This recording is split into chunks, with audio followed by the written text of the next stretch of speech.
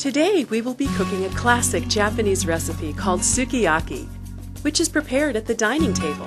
It's the perfect dinner for a gathering of family or friends. Let's prepare the ingredients. Cut the ingredients into bite-sized pieces. Arrange them on a large plate for an appetizing display.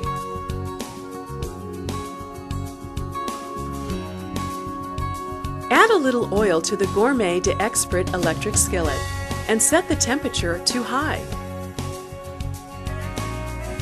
Once the cooking surface gets hot, saute some of the beef slices until brown.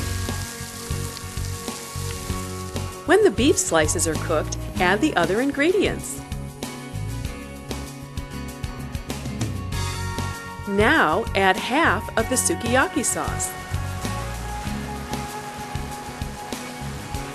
When all the ingredients are cooked through, it's ready to be served. But be sure everyone is already seated at the table. Everybody should take as much as they'd like to eat. Sukiyaki tastes best right out of the skillet. Keep adding more ingredients and sauce as they disappear from the pan. Feel free to add more or less sugar, soy sauce, and water to adjust the flavor of the sauce.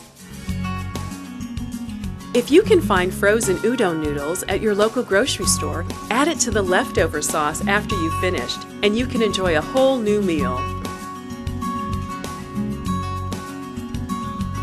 Try experimenting by adding other ingredients not listed in the recipe.